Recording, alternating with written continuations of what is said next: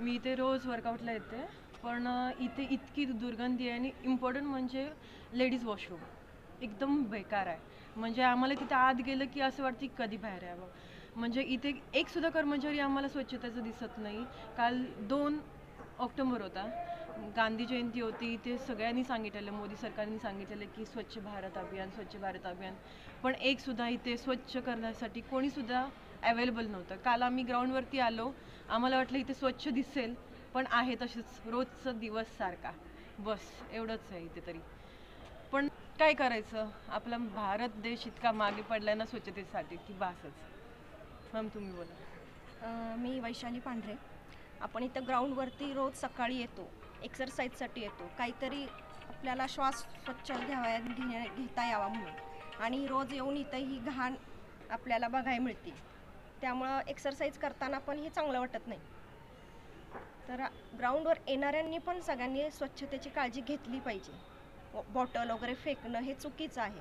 Dustbin ठेवले पाहिजेत डस्टबिनमध्ये टाकलं पाहिजे. सगळ्यांनी स्वच्छता ठेवली पाहिजे. जशी आपण घराची ठेवतो तशी आपण बाहेरही स्वच्छता ठेवली पाहिजे.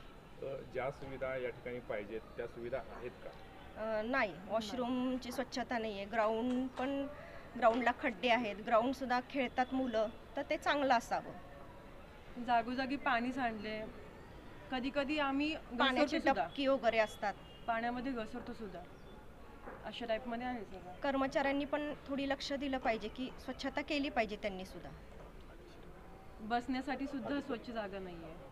अधिकाऱ्यांचं लक्ष नाहीये इथं कर्मचाऱ्यांचं लक्ष नाही. नाहीये. कर्मचारी फक्त वॉचमन सोडून सगळे म्हणजे वॉचमनच फक्त दिसतो दुसरं कोणी दिसत नाही कर्मचारी इथे.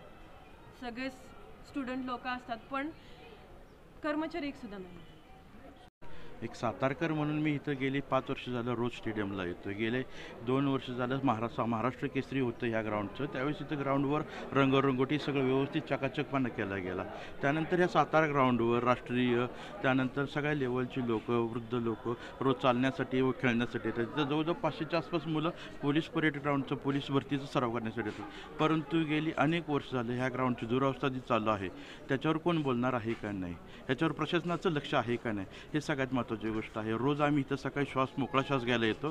तर इथं असं पाहण्यात येतं आहे की रोज इथं कचरा प्लास्टिकचं खूप मोठं साम्राज्य काल दोन ऑक्टोंबर झालं. तरी प्रशासनाला अशी एक कळकळीची विनंती आहे की दोन ऑक्टोंबर निमित्त महात्मा गांधीजींची जयंती होती. तर तिथं पूर्ण स्वच्छता करायचा कार्यक्रम होता. परंतु आपल्या स्टेडियमला का लाभ राबवला गेला नाही?